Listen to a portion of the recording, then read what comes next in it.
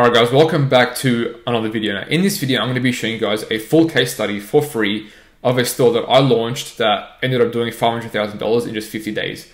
So on the left hand side, um, you guys can see a screenshot that was taken directly from my Shopify dashboard. And you can see that, that I did $362,000 USD. Um, that equates to about 520,000 AUD. And that was all done within a time frame of about 50 days. So I'm going to go through now and show you guys everything step by step, just so you guys know exactly what to do. Okay, so what we're going to cover in today's video is going to be the uh, store results, uh, the store design, the product, uh, the Facebook ad launch strategy, uh, scaling the product, automation, and also my ad account overview. So at the end, I'm going to go through my ad account and show you guys everything I did, um, what I launched and how I launched it, just so um, you guys can follow along and also do the same thing.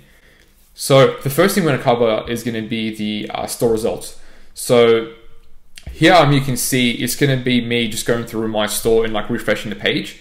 And then on the um, right hand side, it's going to be on my phone. So I'm just um, going through that and showing you guys one day. And on that day, um, we ended up doing over $16,000 USD in sales. So yeah, this is just proof um, to show you guys that uh, this is not fake and um, this is actually like all my results. Because I know like a lot of people out there, um, they just don't show you like the actual results, but um, I want to be uh, transparent with you guys and show you guys that um, it's actually possible to do. So yeah, so I've just shown you guys all my results. So uh, the next thing that we're going to cover is going to be the store design. So for the uh, store design on this store, um, I pretty much base it on a one product store. So that's what I focus on. Um, I don't focus on um, general stores or niche stores. I focus on uh, purely one product stores. Um, the theme that I use is Debut, which is the uh, free theme that you get when you first sign up. Um, in my opinion, that is the uh, best theme. In my opinion, that is the uh, best theme within Shopify. Um, it's just um, a very simple and clean theme. So what you want to do is create a very minimalistic and a very simple design store, just so that way customers don't get confused. Um, you don't want to add any uh, countdown timers or any uh, spammy pop-ups on your store. That's something that um, you would do back in 2017 and also 2018. But now, because we're in uh, 2019 going into uh, 2020, um, it's just like a very uh, spammy thing and it makes you look like a dropshipping store, which is something that um, you don't want to come off as. Um, so, what I've also done is I've given you guys a list of apps that I used on my store, just so um, you guys have an idea of uh, which apps I used. So, the next thing we're going to cover is going to be the product. So, now for the product I chose, it was a product that solves a very common problem. Um, the product was also not easily found in stores, and the product had a wow factor to it. And I made sure that I put that wow factor inside the video ad, just so customers get intrigued by the product and actually uh, click on the ad. Um, this product was also trending up on Google Trends, which is a um, good sign as well. And at that time, there was only one main store selling the product, but uh, the engagements on their video ad were insane. So every you know uh, like one or two minutes, um, they were getting a comment on the video uh, tagging a friend or saying they purchased. And to me, that was just a good sign of a product that I should test. Um, also on AliExpress, uh, there was approximately uh, 2,000 orders for the product at that time. Um, now there's more, but yeah, um, at the time there was uh, 2,000 orders, which to me meant that the product wasn't uh, too saturated. So that was pretty much uh, the product that I chose. Now the next thing that I'm going to cover is going to be the Facebook ads launch uh, strategy. So for my uh, Facebook ad strategy, what I pretty much do is I focus on um, engagement campaign first, and then from there, um, I just go to a, a, conversion campaign. So the point of the um, engagement campaign is just to get uh, social proof on your video because um, you don't want to run an ad to customers that has uh, no social proof or zero views and no likes or comments. So you just want to make sure that um, before running a purchase campaign, that there's uh, some likes and comments on the video. Um, so for my um, engagement campaign, what I focus on is I launch uh, three ad sets. So one ad set is going to be a budget of twenty dollars. Um, the platform is going to be mobile only, and you want to target both Facebook and Instagram feeds. Now for the uh, second ad set, um, you want a budget of ten dollars and that's going to be also mobile only, but you want to target only Facebook feeds. And for the third ad set, um, that's also going to be a budget of $10, um, mobile only as well, but um, you want to target Instagram feeds only. Um, location is going to be worldwide, excluding the big five. So you want to um, exclude US, UK, Canada, Australia, and also New Zealand. Um, the reason we do this is so we can get uh, more engagements for a cheaper price. The age is going to be all. That was for my product. The gender is going to be based on your product. So if you're selling like a makeup product, um, you're obviously going to target um, just females only. the interest, I stack 10 to 15 interests with large audiences and expand interest, you want to turn that off. And also optimization for ad delivery, that's going to be post engagements. Now, moving on to the uh, conversion campaign, what I do here is I set all my budgets for each ad set at $5.01. Um, the reason I do that is because that extra one cent is going to put me um, ahead of everyone else because uh, Facebook is a bidding system. So you want to make sure that um, you're just one step ahead of everyone. Um, locations, you want to target um, ePacket countries. The age is going to be all again, gender based on your product. So the interest per ad set is you're going to target one interest with a large audience per ad set. So um, in one ad set, I'm going to have one interest, next ad set, um, another interest, and then uh, so on. Expand interest, you want to turn that off as well. So the platform for the uh, conversion campaign is going to be mobile only, but you want to target only Facebook and Instagram feeds. And the um, optimization for ad delivery is going to be uh, conversions. And what you want to do is you want to launch 10 to 15 ad sets. So for each ad set, just remember to add one interest per ad set. Now, going on to the next thing is going to be scaling. So, scaling uh, this product, I used uh, CBOs, lookalike audiences, and also retargeting. So, pretty much what I was doing is increasing budget on my ad account every single day until my ROAS drops. And when that drops, um, what you want to do is you want to cut back and you want to um, kill the bad ad sets that are not performing well, and um, you want to scale the profitable ones. So you want to make sure that you're always killing bad ad sets and you're scaling profitable ad sets. And also every single day you want to introduce new ad sets. So um, that is one way to um, scale, which is like in my opinion the best way to scale. And for the CBOs, what I do is I filter by the past three days. So the uh, top five best performing interests, based on the ROAS, I'm gonna throw them into a CBO at uh, $50 a day. And I do this for the um, next top five best performing ad sets as well. And I keep doing this until all uh, profitable assets have been thrown into a CBO. And for the budget, I'm going to start at $50 as I mentioned before, but then uh, when you scale, duplicate the budget. So from 50 to 100, and then after 100 to 200, and then 200 to 500. Um, so that was my uh, CBO scaling strategy. And for retargeting, uh, this is pretty much the um, template or outline that I use. So I go through each one, but I make sure I do uh, three days, 10 days, and also 30 days. So um, you want to target uh, each one of those increments. So I do 75% uh, video views, 95% video views, website visitors, view content, add to cart, initiate checkout, and also Facebook and Instagram engagement. Um, and for my lookalike outline, uh, this is pretty much here. Um, what I focused on is 1%, 1 to 2%, 2 to 5%, also 5 to 10%.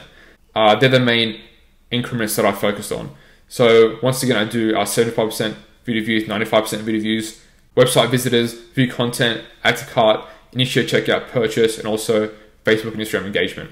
Uh, so for my lookalikes, I focus on the uh, top four countries, so US, UK, Canada, and also Australia. So then after scaling, it becomes time to automate your store. At this point, because it is a one product store, uh, fulfillment is going to be quite easy. So what I like to use um, is an app called uh, DSers, and using this app, you can uh, bulk fulfill orders. So it's more convenient than um, Oberlo, which I know um, a lot of you guys use.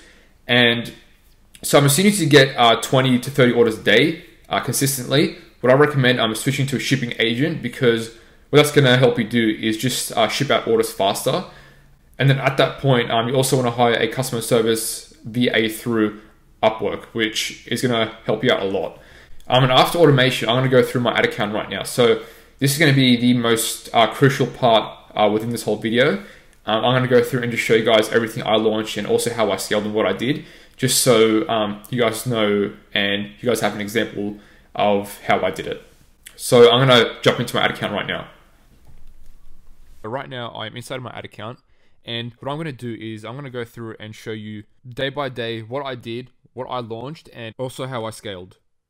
Alright, so the first thing I did on day one, which is February 21st, what I did is I launched a engagement campaign. So the point of this was to gather engagement on my videos just to get video views, likes, and comments. That way, there is some social proof on the video. So, as you can see here, the engagement campaign had uh, 13 add to carts and 8 checkouts initiated, no purchases. Now, that's to be expected. With a engagement campaign, you're not expected to see any purchases. So I spent around $20 and I got approximately 100,000 video views. So if I go into the campaign right now, you can see that I launched three ad sets. So I'm going to filter by amount spent. You can see that most of the ad set names are to do with pets. That is because the product was a pet product. Now, if I filter by the three ad sets that I launched, so I'm going to click the ad sets and filter by selection. You can see that one of the ad sets is $10 and the other two are both $5. So what I did for the $10 one, if I click edit, so the budget is $10 and then I targeted all ePacket countries. And then from there, I set the language to English. And then for the targeting, I targeted 10 to 15 broad interest. So you can see dog food has 37 million, uh, dog grooming has 15 million, German Shepherd has 22 million, Golden Retriever has 19 million. So they're all just broad interest. And then if I scroll down, the placements I did just Facebook and Instagram feeds only on mobile. So what I did is I removed desktop and just kept mobile. And then if I keep scrolling down, the optimization is post engagement. And so if I go back, the other two are the same, except for I'm not targeting both Instagram and Facebook. So one of them I'm targeting just Instagram, and then the other one I'm targeting just Facebook. I'm doing this because the $10 one, as it's both of them, sometimes it allocates all the budget to just Instagram and it doesn't give Facebook enough attention. So what I did is I split them up. So instead of having just one ad set, $20, I split it up between 10 and then two fives. That way everything is evenly distributed. So that was on day one. And with the $20 spent, I got around 100,000 video views. So if I go to day two, let me just cancel this and then go back to campaigns and filter by amount spent. If I go on to day two, which is February 22nd, and then click update, you can see that I launched a conversion campaign. So this campaign on the first day, it got uh, 12 add to carts, 11 checkouts initiated, and 6 purchases. So it had a return on ad spend of 3.23, which is very, very profitable. And I only spent around $54 to make back 174. So if I go into the campaign I'll select the campaign and then go into ad sets. And then if I filter by amount spent, I launched about 10 ad sets on this day. Let me just confirm with you guys. So all the ones that I've spent money, I'll highlight them. Yeah, so I launched 10 ad sets and each one was a different interest. So this one was BarkBox, this one was German Shepherd, this one was Labrador, this one was Petco, and so on. Now, if I go into the ad set, so if I highlight one ad set and then click on edit,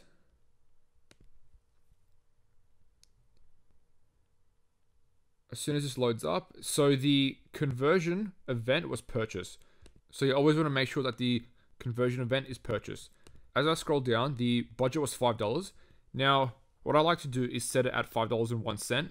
Because Facebook is a bidding system, you want to outbid those at $5. So if you add that extra one cent, it's just placing you above all the others. And then if I scroll down, I targeted all ePacket countries once again. And then the gender was all. Languages are the English. And then the targeting was BarkBox.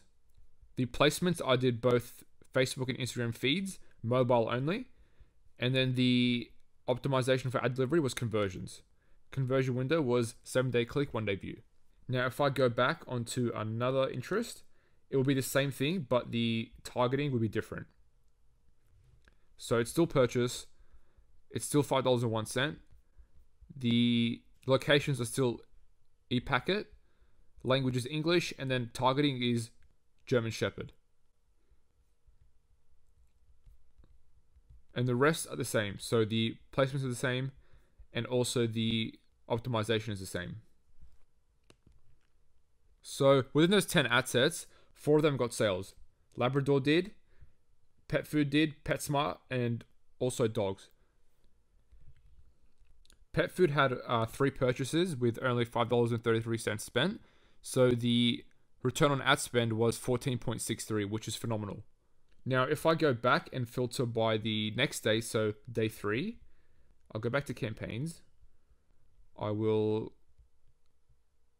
filter by amount spent and then deselect this one and then go into February 23rd update. Now, what I did on this day is I let everything run for another day. So I changed absolutely nothing. So February 24th and then filter by amount spent. You can see that I'm slowly starting to pick up more traction. So if I go into the conversion campaign and I filter by amount spent, you can see now more ad sets are starting to pick up and they're getting more purchases. So that's what I'm after. Now, if I go to the next day, so that day I didn't change anything as well. Now, if I go to the next day, which is the 25th update, go back to campaigns, filter by amount spent. You can now see that the conversion campaign has eight purchases, and also I launched video views for the US only, and that had seven purchases. So if I go into the conversion campaign and filter by amount spent, actually, I'll filter by ROAS. You can see that a lot of ad sets purchases. So if I highlight the ones with purchases, you can see that eight ad sets had purchases. The total return on ad spend is 3.02, which is highly profitable. So with $75 spent, we got 228 back. Now, keep in mind that Facebook doesn't track every purchase, so usually this amount here is higher, which means our return on ad spend is higher as well. At this point now, what I'm trying to do is whatever's working, for example, if the day before I saw that pet food had a sale, I would just horizontally scale it. So I would find new interest based on the same ad set. Each day I was trying to launch 5 to 10 new ad sets, and by that I mean uh, 5 to 10 new assets with new interests and the ones that were working, I would duplicate them uh, twice. So once I will leave the budget the same, and the other one I would double the budget. So if I go back, and then I go by amount spent, and then I select lookalikes, filter by amount spent, you can see that I launched 95% and 75% video view lookalikes for the US only. So I was doing 1%, 1 to 2%, 2 to 3%, 4 to 5%, and 5 to 10%. What I would do now though is I would only do 1%, 1 to 2%, 2 to 5%, and 5 to 10%. So I wouldn't do 2 to 3 and 3 to 4. And so in total for that day, I had 15 purchases and a ROAS of 2.34. So with 175 spent, I made $410. Now, if I go to February 26th, and then update, and then filter by amount spent. On this day, I launched a whole bunch of new ad sets. So I launched video view lookalikes for Australia, Canada, and also United Kingdom. And what I also did is I launched more ad sets within the conversions campaign. So if I select that and go through that one, filter by return on ad spend, you can see that I launched a whole bunch of new ad sets. So the key to this is to be successful what you have to do is keep launching new ad sets every single day. So each day you want to launch a minimum of five to 10 ad sets and you want to turn off any ad set that is below your break even ROAS. For me, that break even ROAS was 1.6. So if anything was below that, I would kill it and then I would launch a new ad set to replace that. So today, I on this day, I launched uh, 10 new ad sets and I killed maybe around seven to eight ad sets. So anything that was not making me money, um, I would just turn it off. And then if I go back, I would show you the, let me filter by amount spent, video view lookalikes. So it's the same thing as the US ones. And then if I go back, the Canada and UK are the same ones. So pretty much that's what I would do is every day I would launch new ad sets and kill what's not working. That's the key to being profitable and remaining consistent with your Facebook ads. Alright guys, I hope you enjoyed that case study um, of a store that I took from zero to $500,000 in just 50 days. Um, if you guys did enjoy it and um, if you guys took a lot of value from this video, be sure to leave a like on the video and also uh, comment down below in the uh, comment section of other video ideas that um, you want me to make for you guys and I'll be sure to go through and make those. But uh, that's pretty much everything guys. Um, I hope you enjoyed the video and I'll see you guys next time.